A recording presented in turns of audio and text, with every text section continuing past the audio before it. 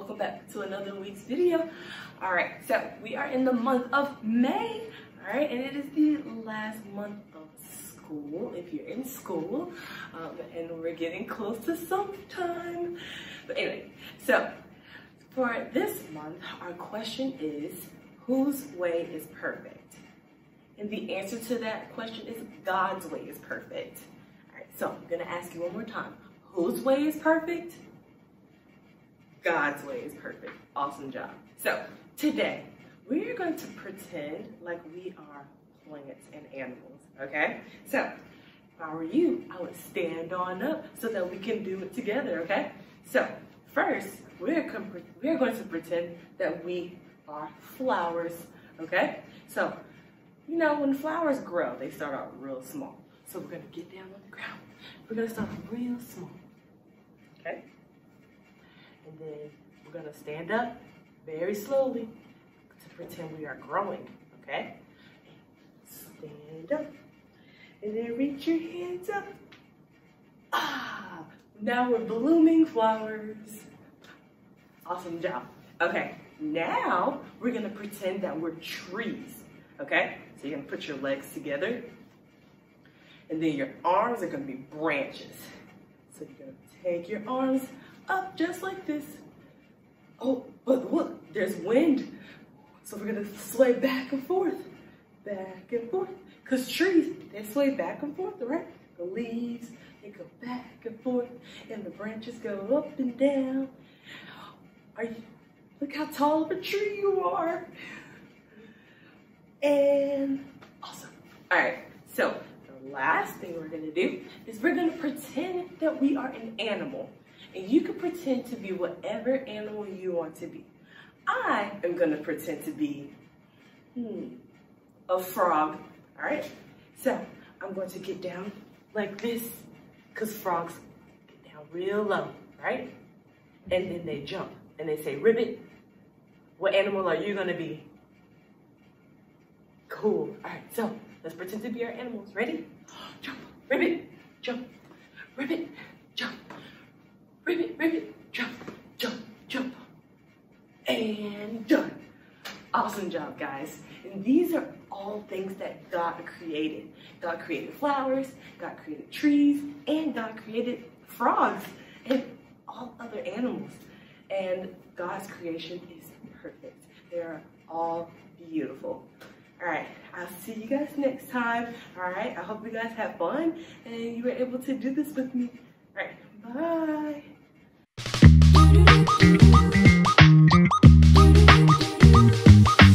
God, you are.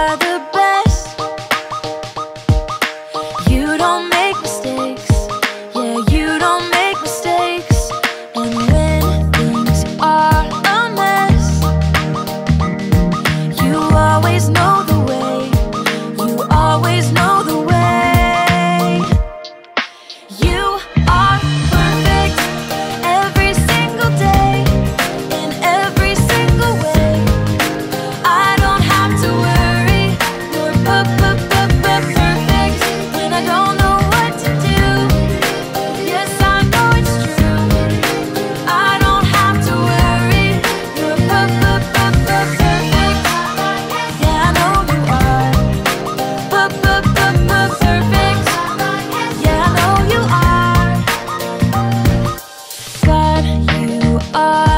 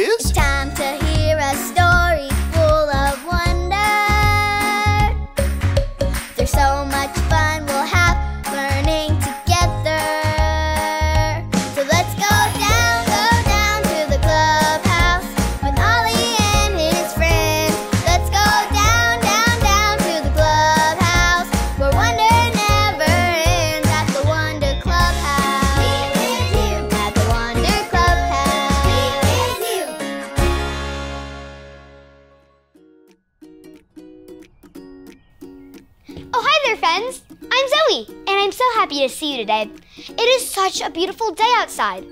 I wanted to practice going on my pogo stick, but I broke my arm. So I went to the park with my aunt. I felt so bouncy, like a kangaroo. I jumped and I jumped, and I saw beautiful flowers and big green trees. It was so pretty. Who?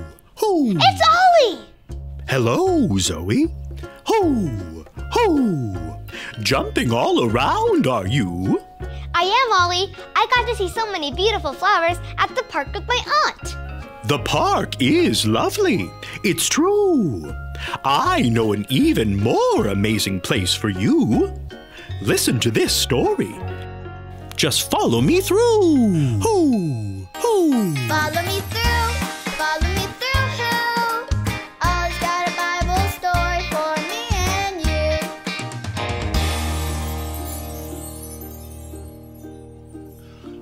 hi, friends. Hola. I'm Luis, the handyman. Today I'm watering all the seeds I just planted in my little garden here. I'm growing tomatoes right here. And over here, I'm planting strawberries.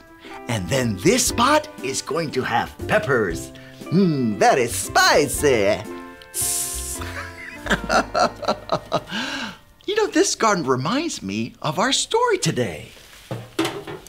Do you want to help me build it? Great! All right, let's put it on the story fence. Hammers up, little builders. Ready? Uno, dos, tres, hammer! Great job, little helpers. You can put your hammers down. Now we just need our story tools.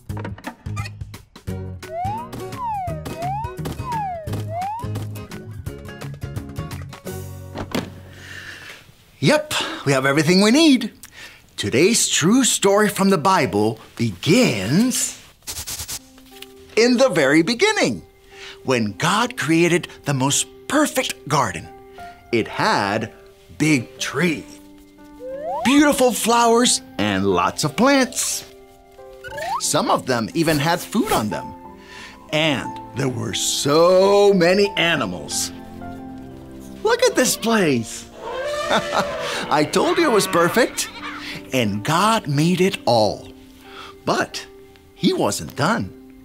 As beautiful and perfect as the garden was, God knew it needed His most amazing creation. So God made people. he called the man Adam. Now wave to the kids, Adam. And the woman was called Eve. Now the garden truly was perfect. God gave Adam an important job to do. God told him to name all the animals and take care of them. Let's see if you know the names of these animals. Ready? Uh, what's this guy's name? yeah, frog, that's right. okay, who is this? yes, it's a bunny rabbit. okay, now this one is harder. Ready? What's his name? yes, he's a kangaroo. Boinky, boinky. Great job. So, Adam and Eve lived in God's wonderful garden, and they knew that God's way is perfect. They could eat fruit from any of the trees, except for one. In fact, that was the only rule. God told them to never, ever, ever, ever eat that one fruit. Oh no! What, are they doing? Is Eve going to eat the fruit? Everybody say, Oh no! Ready? Oh! No!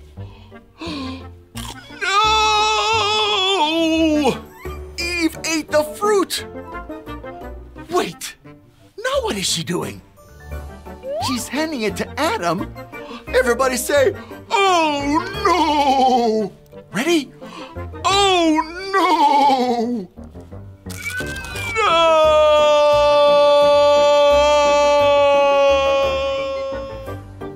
They both ate the fruit. They disobeyed God. And because they didn't do the things God's way, God had to send them away from his beautiful garden. God still loved Adam and Eve very much. They still had food to eat and animals to take care of, but everything was a lot harder. It would have been so much better if they had followed God's way.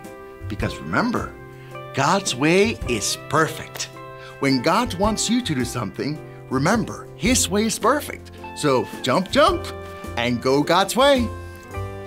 Hey there, Holly. Tell me, whose way is perfect? God's way is perfect. Yes, it's true. Now let's hear it from you. Tell me, whose way is perfect? God's way is perfect. That's the truth, friends. You better believe it. Adios.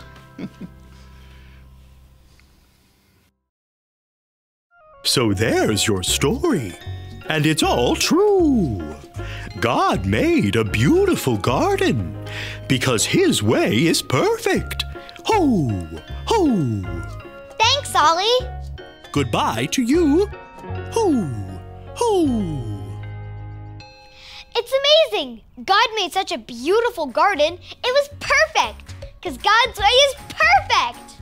I think I got the story. Did you get it? If you did, say got it. You get it? Good. I'm going to jump around outside and go find more beautiful things God made. I'll see you next time. Bye.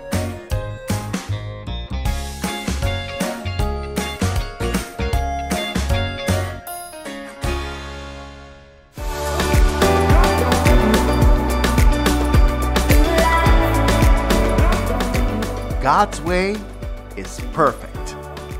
2 Samuel 22:31. God's way is perfect. 2 Samuel 22:31.